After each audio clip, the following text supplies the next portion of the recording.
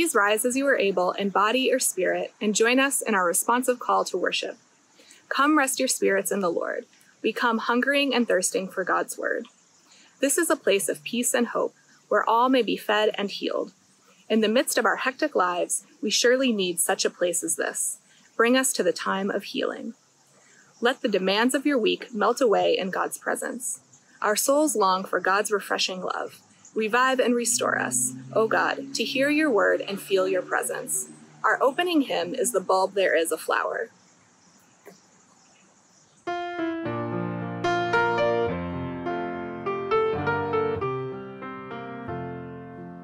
In the bulb there is a flower, in the seed an apple tree, in cocoons a hidden promise.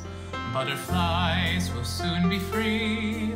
In the cold and snow of winter, there's a spring that waits to be unrevealed until its season, something God alone can see. There's a song in every silence, seeking word and melody. There's a dawn in every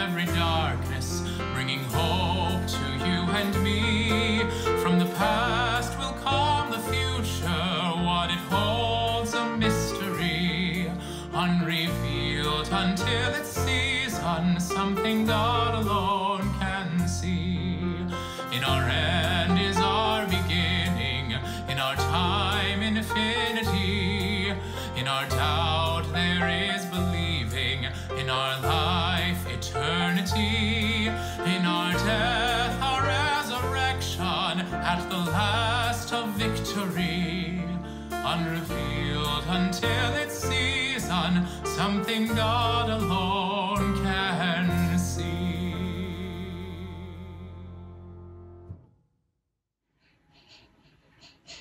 Trusting God's word and claiming God's power, let us first confess the ways in which we have fallen short, first in silent prayer.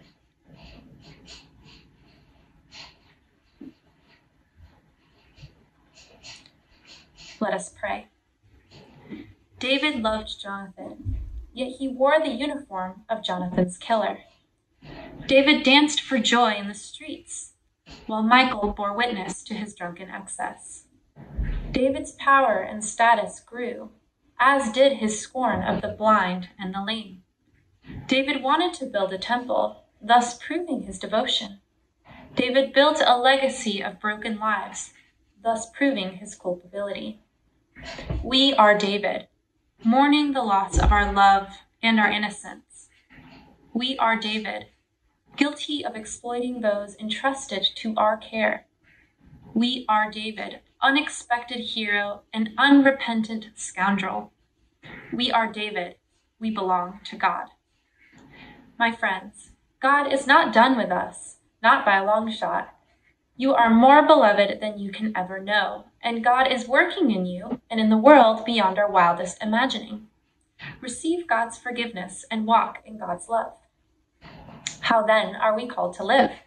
The Lord Jesus Christ said, You shall love your Lord your God with all your heart, mind, soul, and strength. This is the first and greatest commandment, and a second is like it. You shall love your neighbor as yourself. On these two commandments hang all the laws and the prophets.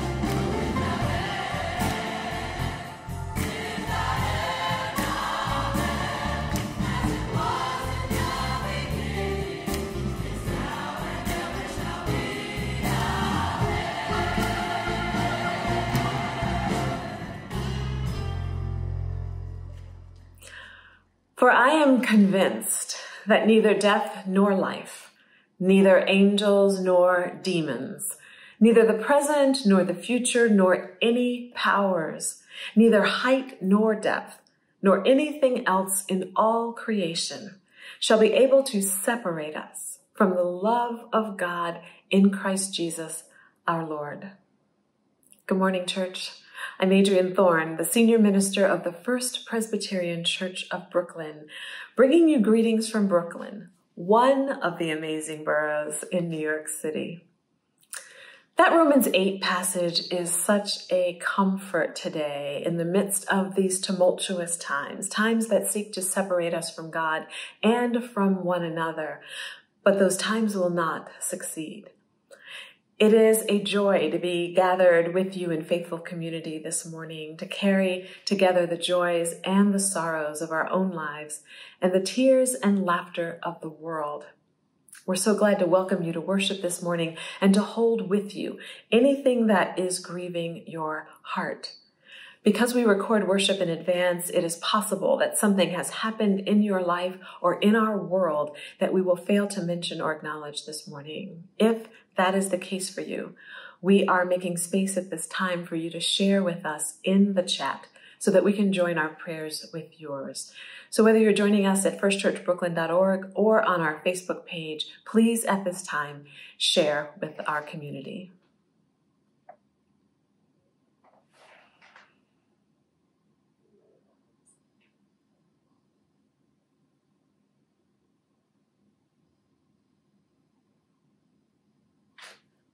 May God comfort God's people and be ever near to the brokenhearted. Amen. Following worship, please join me for a brief sermon talkback on Zoom. This is a brave space that I attempt to hold every Sunday that I'm able, giving us a chance to reflect on faith, race, and anything that comes up for us in worship. Join me on Zoom with meeting ID number 812 9262 6196. You may join these conversations also dialing in using your phone. The Zoom phone number is 929 205 6099. Once you have connected, enter the meeting ID number, which again is 812 9262 6196. I look forward to welcoming many of you after worship for what is proving to be really wonderful, um, insightful conversations. Please check the church calendar for a list of upcoming events and ways to connect with our faith community. On Mondays, I do a 30 minute meetup at 12 noon via Zoom. On Wednesday mornings, the men meet virtually for breakfast and wonderful conversation. And in the evenings on Wednesday, Reverend April hosts our Bible study at 7:30 p.m. Our young adults meet the second Thursday of every month, and there is an in-person meetup at the church in our Peace Garden on Saturday afternoons from 4 to 5 p.m. There are a plethora of events weekly and monthly for our children, youth, and families. Please, again, check the church calendar on our website for details on ways to connect and to continue growing in your faith. Finally, I want to invite you to keep an eye out for our post election plan for connection. We're all working very hard to get out the vote and to make voting plans. And we also need to have something in place for the evening of election day and the days beyond when our work for love and justice continues. We are planning a prayer and poetry evening on November 3rd, a watch party with Odyssey Impact on that Friday, looking at uh, prison and mass incarceration, there will be part two of our all church book conversation with Isabella Wilkerson's acclaimed book Caste and plans to join the Blanton Peale Institute for their annual Norman Vincent Peale Awards for positive thinking. It will be a wonderful week of care and comfort in the aftermath of the presidential election. So more soon, and I hope you will make plans to join us. Today we have the good treat and the good fortune of having my friend and my brother, Masia Evans, in the pulpit. Masia and I attended seminary together and his family is my family. He and his wife Kawami kept a room in their home for me when we were in grad school so that when I would visit, I would have a place to be, uh, a place to be, a place to relax. They've been incredibly generous with their love and support and I'm grateful for that ongoing support today as Masia takes the pulpit. Masia has been in ministry since 2007. He completed his Doctor of Ministry from the Claremont School of Theology this spring. He teaches part-time at the Pacific School of Religion in Berkeley and shares with us today. We're really fortunate and in um, have, have a treat in store for us, his love of spoken word. He brings new approaches to the church and its surrounding community he was the youth pastor at St. Mark's Methodist Church in Sacramento, and he currently serves as pastor of Roseville United Methodist Church, where he has been called since November 2019. Please pray with me for my brother, Masia, as he brings the word this morning. Pray also for his amazing family and his congregation who is loaning him to us with joy and great delight this morning. Passing the peace is a tradition rooted in scripture that embodies our identity as peacemakers and trains our hearts, hands, and tongues in the way of peace. From the beginning, by regularly practicing this gesture, our hearts are shaped in the form of the words that we speak. Christians have exercised this practice, and I invite you now to join our long tradition by placing hands on your heart and wishing yourself God's peace or sharing a sign of God's peace with your neighbor, words, hugs, and handshakes. May the peace of Christ be yours this morning and forevermore. I woke up this morning with my mind set on Jesus. Woke up this morning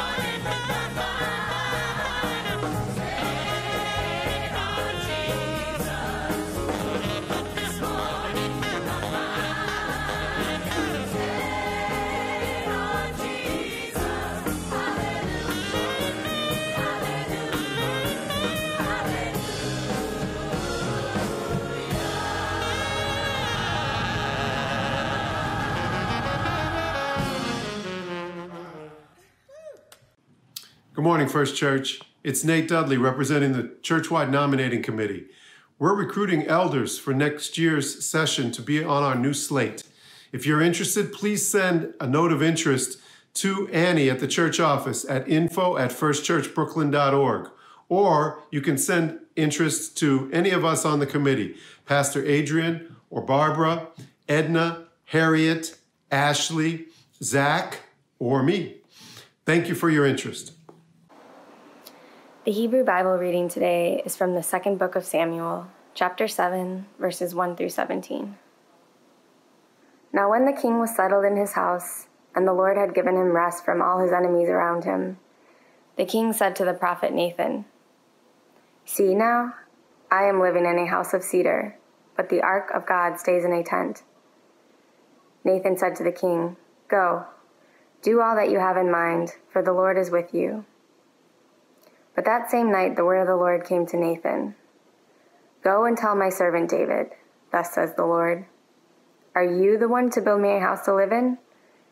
I have not lived in a house since the day I brought up the people of Israel from Egypt to this day, but I have been moving about in a tent and a tabernacle.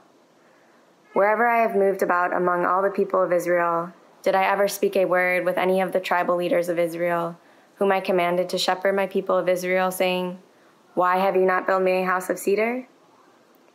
Now therefore, thus you shall say to my servant David, Thus says the Lord of hosts, I took you from the pasture, from following the sheep to be prince over my people Israel.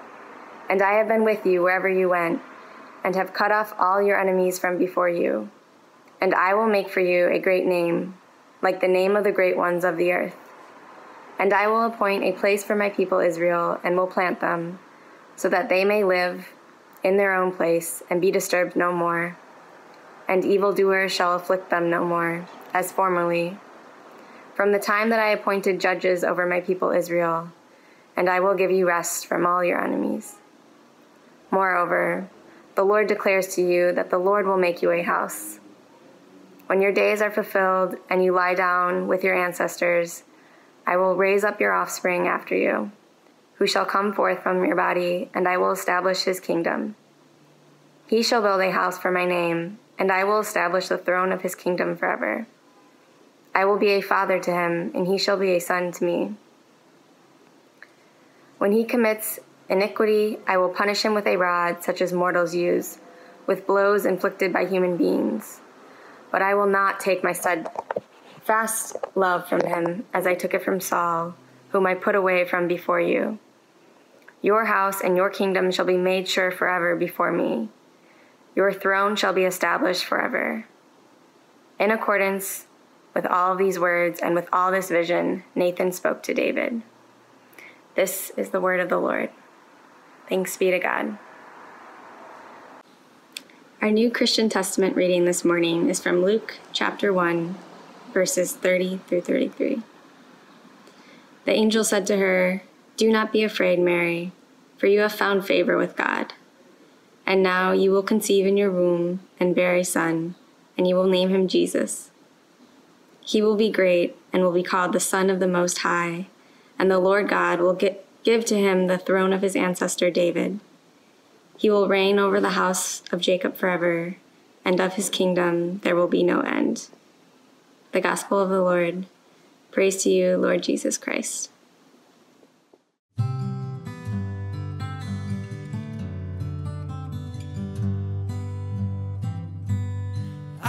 Can change the world with my own two hands, make it a better place. With my own two hands, make it a kinder place. With my own two hands, with my own, with my own I can make peace on earth with my own two hands. I can clean up the earth with my own two hands. I can reach out to you with my own two hands, with my own, with my own two With my own, with my own two hands. I'm gonna make it a brighter place. With my own two hands, I'm gonna make it a safer place. With my own two hands, I'm gonna help the human race. With my own two with my own, with my own two hands. With my own, with my own two hands. I can hold you in my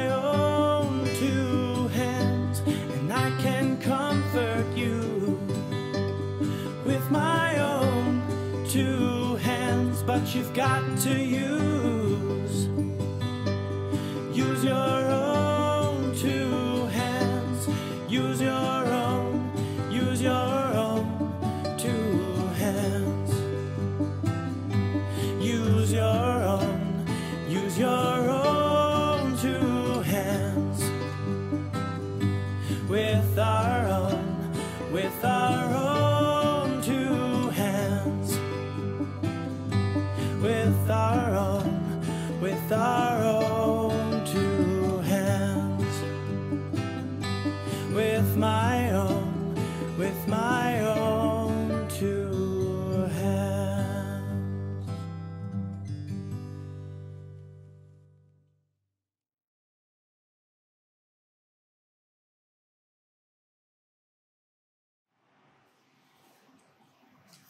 Good morning and peace to you.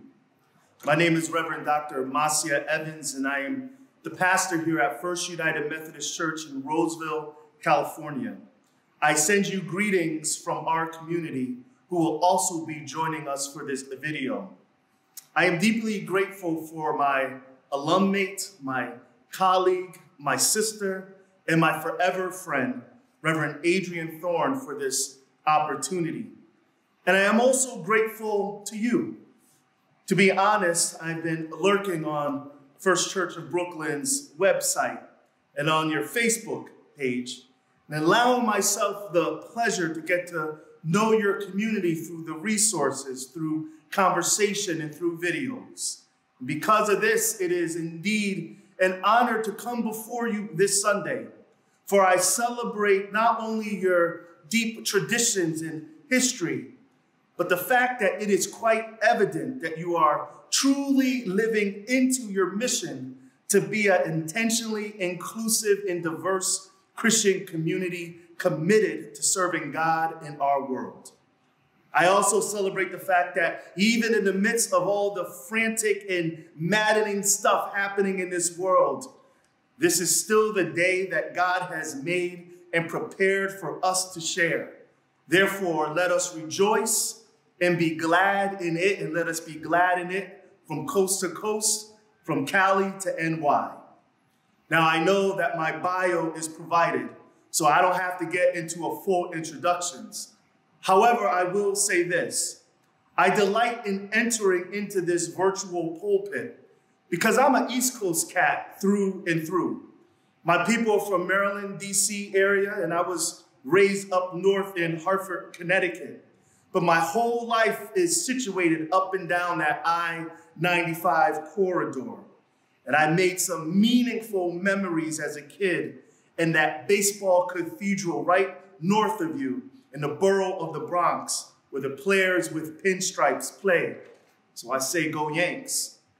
So, though not raised in the city, the East Coast is home. My heart is there.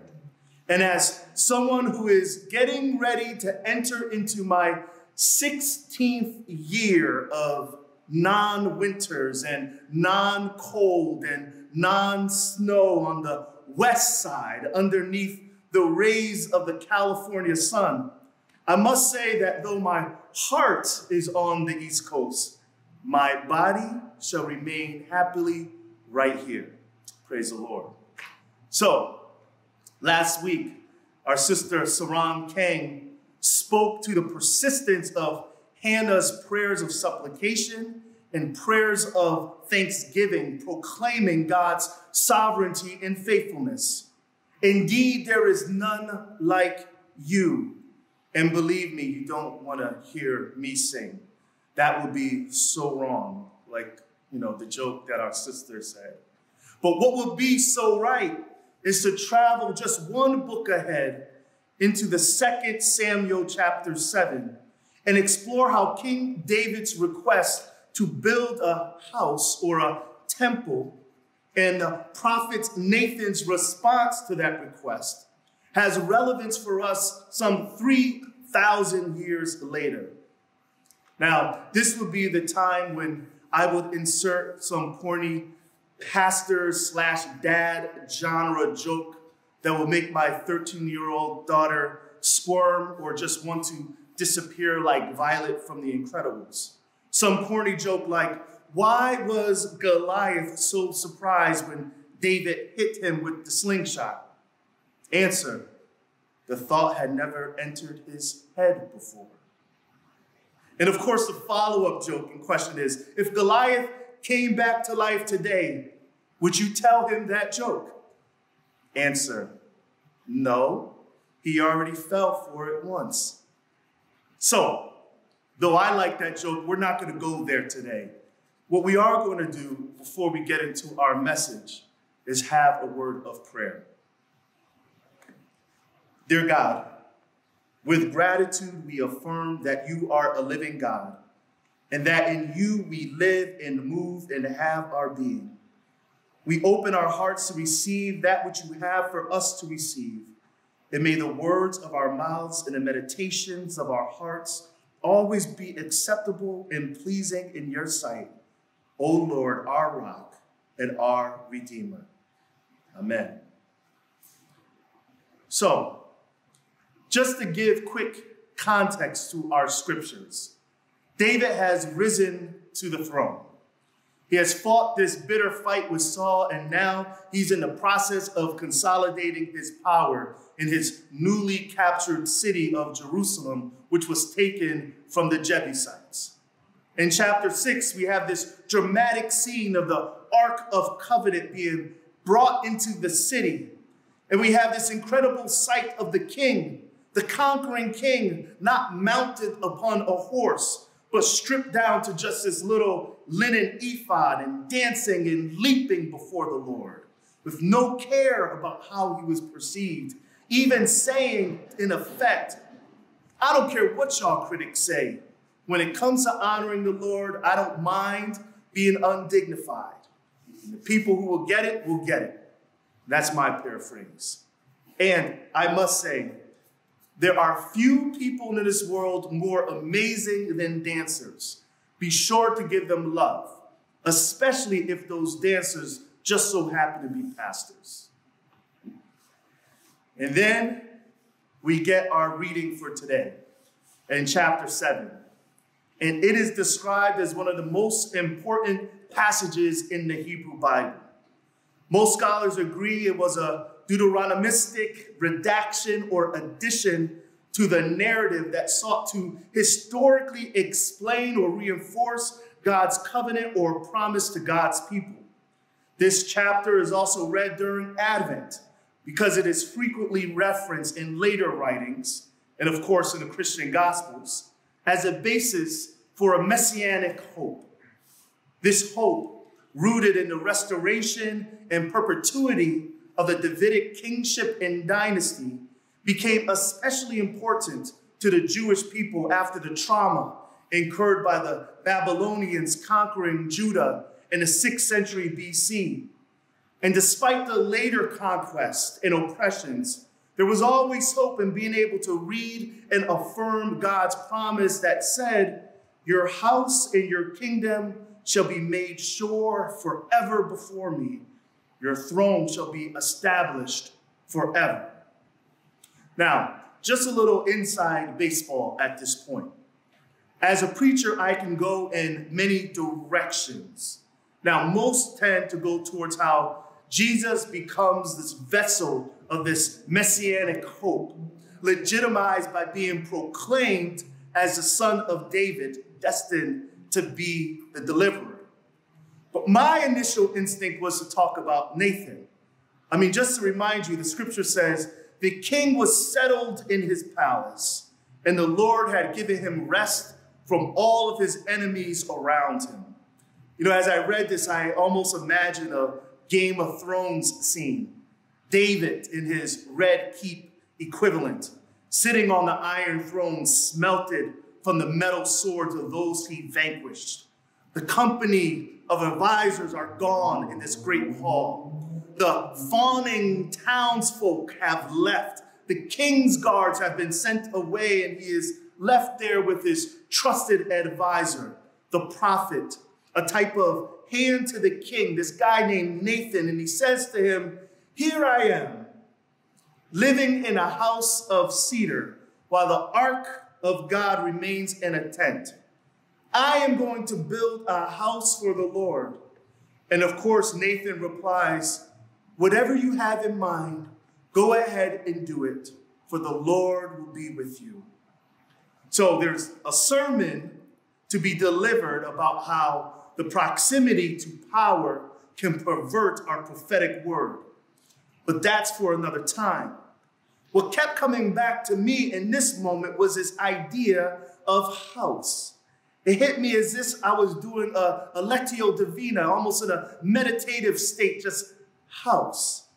And this, this word house is scattered all throughout this pericope, including within the oracle or the thus saith the Lord that Nathan receives that night by God. In fact, it's almost this poetic play on words. Palace and temple were often associated in the ancient Near East, and the same Hebrew word is used for both. David worries that his bayeth, or his house of cedar, is grander than the tent shrine of the Lord. So he asks, Should I make a house for God? Further, this double sense of house comes to bear because God may not build, David might not build a house for God. That's for Solomon later. But God will build a house, i.e., dynasty, for David that will last forever. House David, if we continue with the GOT themes. So, this evocation of the word house in this text got me thinking what kind of house is needed for today? This question was amplified as I reread God's initial response to David's request. Listen to it again. It says, Are you the one to build me a house to dwell in? I have not dwelt in a house from the day I brought the Israelites up out of Egypt to this day. I have been moving from place to place with a tent as my dwelling. And I now paraphrase, paraphrase says, When did I ask you to build me a house of cedar? God almost takes this incredulous tone. Don't you know that I am beyond this? Don't you know that my presence is not dependent on a specific place or house? But we see what happens with David's request and this general instinct to make a house for God and how that kind of morphed over time into making a house of God. So we move in our scriptures from having the high places and altars like the one in Shiloh that Hannah prayed at, and the temple that David's son Solomon ultimately built and was later destroyed by the Babylonians. Then we have the Ezra Nehemiah building the second temple, which was expanded by Herod and later destroyed in 70 AD. Later, we have the house like churches in the early Christian era, and the basilicas and cathedrals after Constantine, and the churches that we have inherited in this post Reformation era has become this representations of the house of God that has become normative and almost ubiquitous, and is usually understood to be the place where one encounters the sacred. But what kind of house is needed today. So my doctoral work was on spoken word and the creation of sacred space through ritual performance and imaginative theologies. In it, I address what sacred space means. In Western traditions, the sacred is usually defined as those compartmentalized encounters with the transcendent that is set apart from that which is deemed as secular. In contrast, within an African based cosmology, which undergirded Black folk religious traditions, notions of the sacred and the secular were a lot more fluid, guiding uh, understanding that God can be found everywhere. So every place and everything is sacred.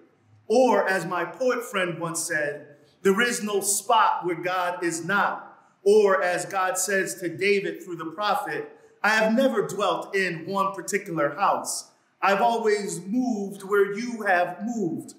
So, what does this mean for the kind of house that is needed for today? The place of sacred encounter. Well, I believe that Black folk religious traditions may hold a key, especially when slavery was legal in the antebellum South. Because the set apart houses of God were reinforcing notions of white supremacy, i.e., you have to be a good slave or your reward is in heaven. Black folks had to creatively form alternative spaces or houses of sacred encounter. And what made a space sacred was not its delineations or the date that was inscribed in its cornerstones or on its plaques, but whether or not there were rituals and practices of resistance and healing and flourishing that was happening in that space. For my ancestors, a house of sacred encounter was seized in those still away places of forest clearings and sometimes in the midnight hours underneath the witness of stars. Sometimes a house of sacred encounter was created even under the threat of death by assembling branches just so as to create hidden hush arbors to pray and to worship and to whisper and to dance. A house of sacred encounter was made in clandestine ways an abandoned tobacco farm or barn or a shallow hole or even a slave cabin on the outskirts of the plantation as they gathered with naught but an overturned pot for protection and a deep faith in a God who makes ways out of no ways. So, what kind of house is needed today? So, yes, this creative housemaking of sacred encounter within Black folk religious traditions continued in formal church settings. In fact, I remember how my grandmother's folks gathered in that seemingly ancient Methodist church in the country parts of Maryland with memories of that sun bleached, whitewashed, barely holding on to that wooden structure down road in the Hall Creek lowlands in Calvert County. But you see, when it comes to housemaking today, it is good to still remember that whether inside or outside the church, there is still no spot where God is not. And to remember that the act of sacred house making occurred even in unlikely places. Places like the juke joints, where the blues fed the soul just as much as gospel. God was found in Miles' muted horn, as well as in Billie Holiday's haunting voice. God was found in the graceful movements of the Nicholas brothers, and also on the prolific tip of Sonia Sanchez's pen. God was found in the elegance of Misty Copeland's pirouettes, Mae Jemison's cosmic curiosities, and Zora Neale Hurston's incredible swag that had our eyes watching God, the same God found in the resilience radiating from freedom workers like Ida B. Wells or Alicia Garza. God was found in the spice of Jamaican patties and roti sold on the corner in my friend's abuelita sancocho. God was found in the houses of the Nuyorican Poets Cafe and even Brooklyn Moon back in the day, where poets became prophets and preachers who mounted stages like pulpits, delivering poems like sermons. All these folks, all of these housemakers were animated by a living and transformative tradition that created spaces of sacred encounters, encounters that often went beyond the four walls of the church. So the question set before us today is what kind of house is needed today? Let me suggest that the kind of sacred housemaking needed is not about constructing more temples of cedar, but it's about midwifing dynamic tent like spaces that can creatively move and respond and speak to, as Howard Thurman said in the opening lines of Jesus and the Disinherited, those in our society whose backs are up against the wall, those hurting while hurled about in a sense of hopelessness, especially during this time of unease and record unemployment, this time of disease and of death, this time characterized by racial conflict and the hovering specters of forced modern day martyrs like George Floyd or Breonna Taylor. In a time of toxic politics and gun violence and armed militias and domestic terrorists. In a time complex and troubling, menaced by the storm clouds of separation and just cynicism and division and distrust, the fomenting of fear, the angst and anxiety, the unmitigated hate that is just spewing forth in bucketfuls of bad news on our TV or on our social media feeds while dealing with the impact of COVID 19 and knowing, knowing that behind the scrolling statistics, there are souls, and knowing that behind all the numbers, now over 220,000, there are names and there are families and there is pain. So, what kind of house is needed today? Quickly, may I suggest the kind of house that is needed are the ones guided by Jesus' life affirming, God glorifying, agony eradicating ministry. It is standing up for those in our society whose lives have not mattered. It is confronting systems of oppression, voting our values, holding our leaders accountable, and indeed, as John Lewis said, making some good trouble when necessary. May I suggest that the kind of house that is needed are creative and art inspired and filled by people who don't care about being dignified. It is liberated from the shackles of the this is how it's always been done.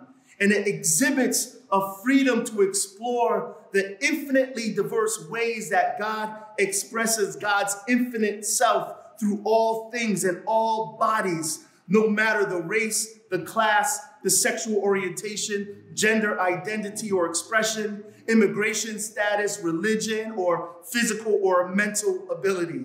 And lastly, may I suggest that the kind of house that is needed is not just in the exquisite Gothic revival style of the physical building with its distinctive towers and Brooklyn Heights but it is the house within that house, which is a place where all people are loved and fed. A house where all people together creatively shape the community towards fulfilling and realizing the beloved community for all people. Oh, hear me when I say this that you, First Church Brooklyn, that you First Church Roseville, are a beautiful but peculiar people because you stand in a tradition of house makers and creators of spaces of sacred encounter. Those who believe that being a Christian means to do something different. Those who believe that being a Christian means to love. So, in conclusion, just want to offer this story. I, I recall when I first started performing poetry some 20 years ago. I had this feature set on a Friday night in downtown Hartford, my hometown. I knew my stuff, but I was a little nervous. At that time, I had stopped going to church and I was searching for a place of spiritual authenticity. The spoken word community was not only becoming a home to my spiritual journey, but I was finding my prophetic voice offering hope through my poems. So, though I had a sense of calling that night, I was nervous.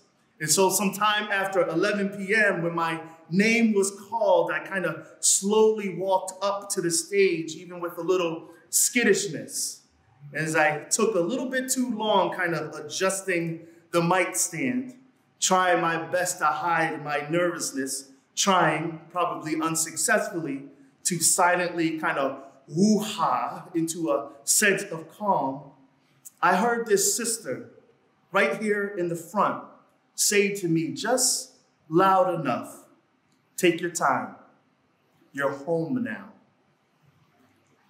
That act of house making by that stranger enabled me to speak my truth with confidence in an encounter of sacred experiences. It was an encounter that empowered my calling such that I can credibly connect a through line from the house of God of that poetry stage long ago to the house of God that contains the very pulpit from which I stand. So, what kind of house?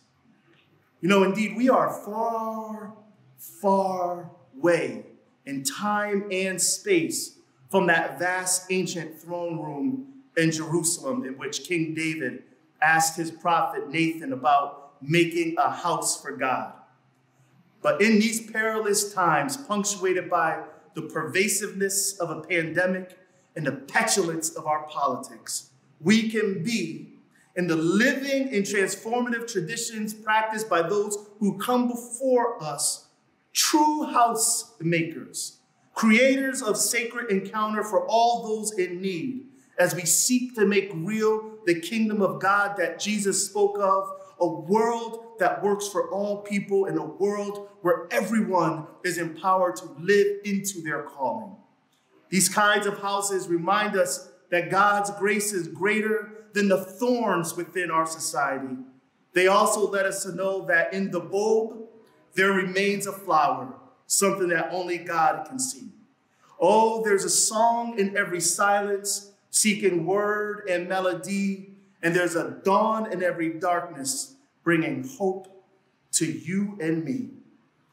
May this word find root in your soul, and may it bloom forth as a blessing. And as you go, May you go with God and may you go in God's peace. Amen. First Church, we have been given every good gift for proclaiming God's presence and God's love to the world. And the world is thirsting for this good news. People struggle to believe that they are God's beloved. People hunger for words of hope and peace. And this is who we are. This is what our church does. We throw open the doors of God's house and take God's gospel message to the streets, to hungry neighbors, to the fields where migrant farm workers labor, to those who need to hear every Sunday that they are chosen. And I'm one of those people. As we have been blessed, we seek to be a blessing in God's name. Let us gather our gifts together now and bring them to God's work in the world as a show of our gratitude and praise. We can receive your financial offerings electronically this morning via PayPal or with a credit card at firstchurchbrooklyn.org. Scroll down and find the donate section. If you're watching on Facebook, you can donate at firstchurchbrooklyn.org as well. And if you like to give on your phone, text the word give to 844 935 2770. As always, thank you for your gift.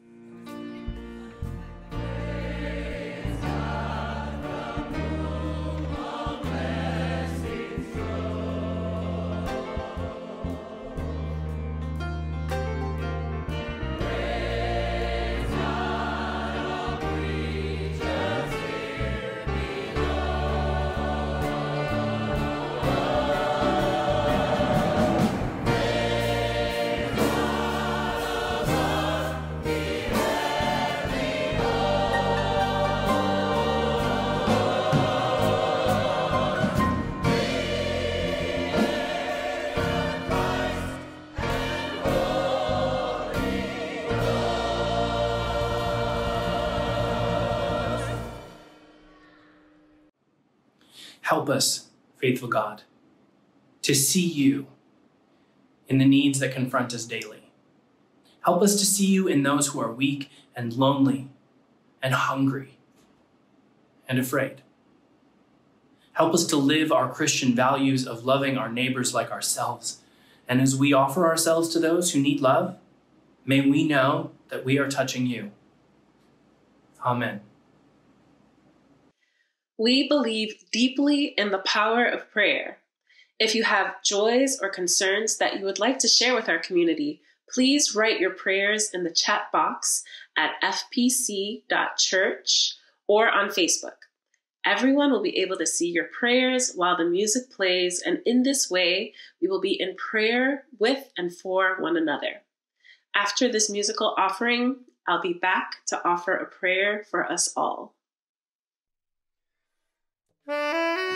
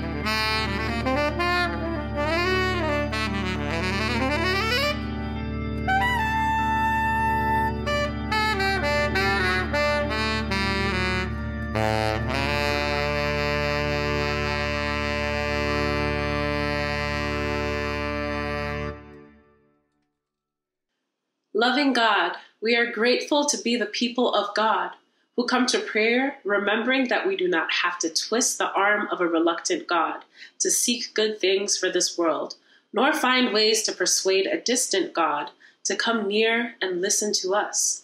Thank you for good things, and thank you for coming near to listen. We pray remembering that as we pray, we kneel alongside Jesus Christ in the presence of God our Creator with the help of the Holy Spirit. So, we bring to mind now those people who are in need of our prayers, those who are ill or anxious, those who are lonely or sad, those who are despairing or defeated, those who are hungry or unhoused, those whose relationships are breaking apart, those who are bullied or abused, those who cannot find work, and those who are overworked. We pray for all those on our hearts and in our minds today. In the presence of God, alongside Jesus Christ, with help from the Holy Spirit, we trust your power, loving God, to send us into this week, living out our prayers through our lives. We trust in the name of Jesus, who taught us to pray this way Our Father, who art in heaven, hallowed be thy name. Thy kingdom come, thy will be done on earth as it is in heaven. Give us this day our daily bread, and forgive us our debts, as we forgive our debtors. And lead us not into temptation, but deliver us from evil. For thine is the kingdom, and the power, and the glory forever. Amen. Beloved, join me in continuing to pray for my brother Masia Evans, uh, his family, and his congregation, and to thank him in your prayers for the word that he brought to our community today. I hope to see many of you on the Zoom talkback following worship. And at this time, I invite you to open your hands and open your hearts in expectation of God's blessing. May God bless you and keep you. May God make the holy face to shine upon you and be gracious unto you. May God lift up the holy countenance upon you and grant you peace from this day onward and unto forevermore. Another world is not only possible, another world is not only possible, another